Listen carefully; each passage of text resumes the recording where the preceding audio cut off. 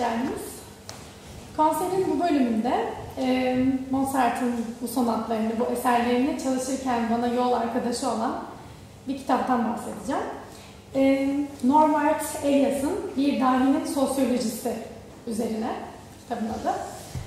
E, Mozart'ı anlamamda bana çok yardımcı oldu. Bazı notlar aldım, onları da sizlerle paylaşmak istiyorum bu akşam.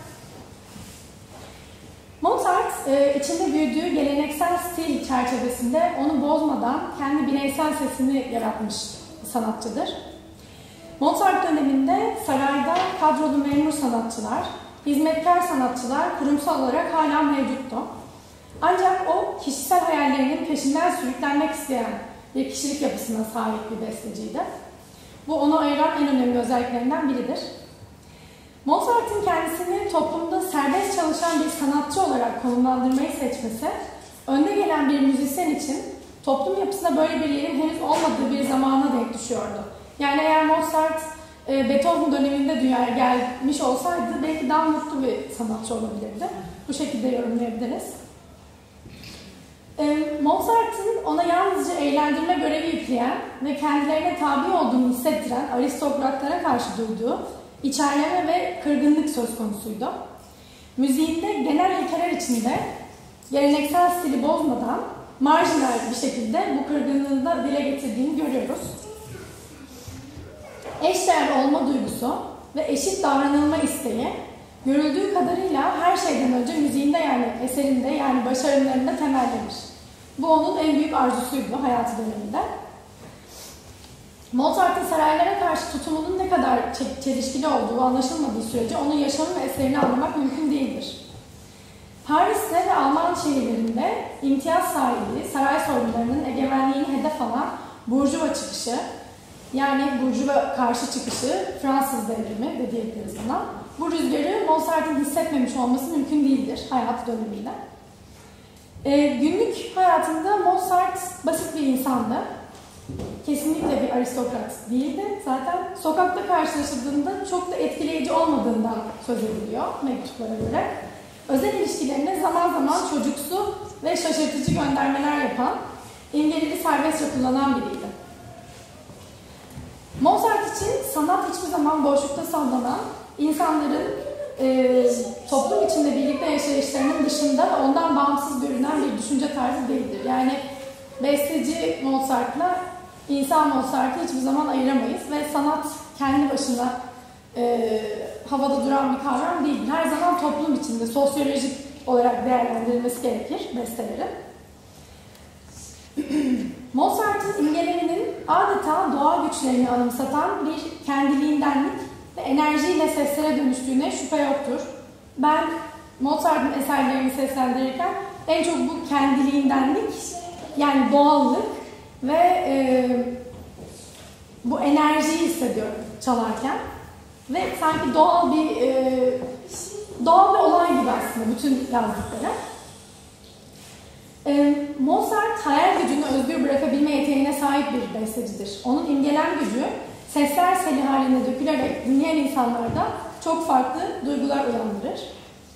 Uyuyan biri nasıl düş görüyorsa Mozart da durmaksızın müziksel buluşlar yapıyordu gün içinde. Mozart'ın eserlerinde kusursuzluk olarak duyumsadığımız şey hem yaratıcı imgeleminin zenginliği hem kullandığı müzik aletine ilişkin geniş bilgisi hem de müzik vicdanının doğallığından kaynaklanır. Hepsi bir arada bulunur. Yani şöyle diyemeyiz ki Mozart bir dahiydi, doğdu ve yazmaya başladı. Tabii ki çok büyük bir yeteneği vardı ama bunun çok güzel bir şekilde desteklenmesi gerekiyordu. Bunu da babası yaptı zaten. Ee, bu çok ilginç. Mozart yaşamının ilerleyen dönemlerinde beste yapmanın onun için beste yapmamaktan daha kolay olduğunu fark etti ve bunu sık sık dile getirirdi. Ee, Mozart doymak bilmeyen bir sevgi ihtiyacı olan bir besteciydi ve bunun müziğinde sürekli ilgi görme çabasının izleri olarak görebiliyoruz. Bu belki de biraz e, yazarın da yorumu olabilir. E, ama belki çocukluğunda bir sevgi eksikliği e, durumu olmuş olabilir. Mektuplardan bu şekilde çıkarımlar yapmış müzikologlar. E, şöyle bir sözü var. Küçük ve genç olduğum için büyük ve olamayacağımı düşünüyorlardı. Bunu yakında öğrenecekler. Her dahi gibi Mozart'ta toplumu içinde sosyal bir kopuş, bir kural dışıydı ve inançlarına tutkuyla bağlıydı. Hayal ve fantezilerinin seslere, duygularının müziğe dökülmesini sağlayan kendiliğindenlik, yani müziksel imgelemenin zenginliği de çocukluğundan kalmaydı. Son olarak Mozart'ın 35 yıllık hayatında, e, hayatı boyunca deneyimlediği en önemli sosyolojik sorundan bahsedeceğim. O şekilde kapatacağım. E, zanaatkar sanatı ve sanatçı sanatı ayrımına biraz değinmek istiyorum burada. Zanaatkar sanatı, saray sanatı ya da resmi sanat olarak adlandırılıyordu. Sanatı üreten kişiden sosyal olarak çok daha yukarıda konumlanan ve kişisel olarak tanınan sipariş veren kişiler için yapılan sanattı. Mozart'ın da hoşuna gitmeyen ve karşı durduğu noktada tam olarak buydu aslında. Sanat üreten kişinin sipariş verenlerin sanat beğenisinin kanonuna tabi olması durumu. Yani bir uzmanlık alanı olarak değil, alınlayan kitlenin başka sosyal etkinlikleri için bir araç olarak kullanılan sanat. Buna karşın sanatçı sanatı, yani Beethoven'dan itibaren göreceğimiz özgür e, yaklaşım, sanat tüccarları, müzik yayıncıları, emprezaryolar gibi kurumlar aracılığıyla anonim müşterilerin oluşturduğu bir pazar için sanat üretimi. Kendi kitlelerinde yetenekli oldukları konusunda uzlaşım sağlayabilmeleri koşuluyla bu sanatçılar özgürdür. Herhangi bir üst akla bağlı kalmıyorlar. sanatçının toplumsal sanat beğenisine bağımlılığından kurtulması, sanatçılar ve sanatı satın alanların sosyal açıdan eşit konumlanması, bu ideal e, bir durum gibi duyuluyor. Yani sanatta demokratikleşme.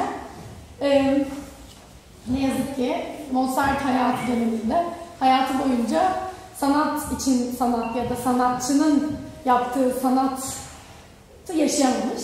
E, hep aristokratlarla, kendinden e, toplumda üst konumda olan kişilerle e, bir anlaşma içinde olmak durumunda kalmış. E,